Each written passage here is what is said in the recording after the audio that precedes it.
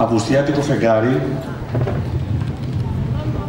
Παλαμίδη, οι ναυπλιείς και οι επισκέπτες τους σκανδαλωδώς ευνοημένοι από τον Κύριο να είναι έτοιμοι να απολαύσουν μουσική από τον κύριο Βαγγέλη Τρίγκα, την κυρία, την κυρία Μαργαρίτα Καραμολέτη, την ορχήστρα τους και ο Δήμαρχος να χαιρετίζει θα αποφύγει σίγουρα να φλιαρίσει. Όμως δεν πρέπει να στεκόμαστε αχάριστοι σε αυτό που ζούμε, αχάριστοι στην ίδια τη ζωή. Μέσα σε όλη αυτή τη μιζέρια και σε όλη αυτή τη δυσκολία, την ανέχεια, πρέπει να μπορούμε να κλέβουμε τις στιγμές και να τις χαρίζουμε στην ψυχή μας. Και η σημερινή εκδήλωση είναι μια τέτοια στιγμή που πρέπει να χαρίσουμε πρώτα στην ψυχή μας. Σας εύχομαι να την απολαύσουμε.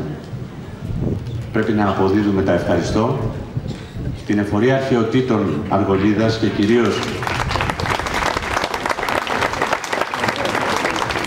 τη Διευθύντρια την κυρία Παπαδημητρίου, την ευχαριστώ και προσωπικά. Όλους όσους παλεύουν για να γίνει αυτή η εκδήλωση από τους ηλεκτρολόγους του Δήμου που έδωσαν και την ψυχή τους για να γίνει όλο αυτό το σκηνικό μέχρι αυτούς που θα μείνουν μετά μέχρι τις πρωινές ώρες για να καθαρίσουν το χώρο. Το Δημοτικό Οργανισμό Πολιτισμού Περιβάλλοντος Αθλητισμού και Τουρισμού του Δήμου, την κυρία Πόπη Καλπούδο, το Διοικητικό Συμβούλιο που βρίσκεται σήμερα εδώ. Και πρώτα απ' όλους θέλω και το χειροκρότημα το δυνατό, εσάς. Σας καλωσορίζω στο Κάστρο Παλαμίδη, το στέμα της όμορφης πόλης του Ναυπλίου.